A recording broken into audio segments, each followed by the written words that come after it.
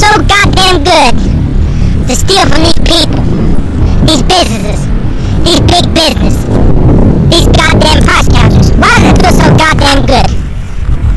I'm simply taking what they got, what I ain't got. God damn it. If only being broke, just living from paycheck to paycheck fucking sucks. But it really, really, really swallows when you got dreams cost money to get, and you never get that money because you're from paycheck to paycheck. When if I was old, I'd always been the good-looking guy and had the longer arms. I could have dealt with being poor. I could have got a fucking job, another job. And because I had been a good-looking guy and had the longer arms, I wouldn't have had to save shitloads of cash towards an uncertain future. I could have been happy with what I had because I would have had what I wanted. But until I get those longer arms and good looks and the day that youthful face back, there is absolutely nothing on this goddamn planet. Not even a mansion in Beverly Hills. Not even a sports car that saves,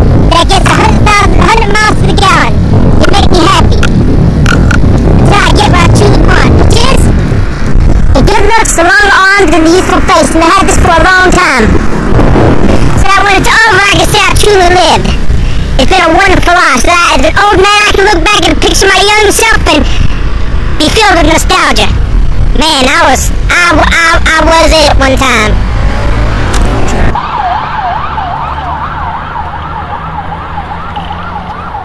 If only they knew, they'd be arresting me. This here used to be the Social Security building. We apply. We got your Social Security card and applied for all those welfare benefits. Let me tell you something, people. Oh, before I get this right, now that they make you prepay for your gas, there's got to be a better way to steal gas because these oil companies need us to suck it to them. So these goddamn price gouging convenience stores. I'm thinking if you could you find some sort of magnet, computer to magnet hybrid that allows you to pump, that slows down the counter, but not the flow of gas. Now you can pump 10 gallons of gas for maybe 50 cent worth of gas. Man, why we? So folks, oh Chris, most people in this world will never get what they truly want, never fulfill their dreams. What makes you so special? Well, hey, they don't got Asperger's. I do. I develop emotional attachments to inanimate objects and ideas that normally people only develop with other people. I love my dreams and inanimate objects that are mine more than I do nameless, faceless statistics. I cannot stand, I cannot bear to live without my dreams. It is like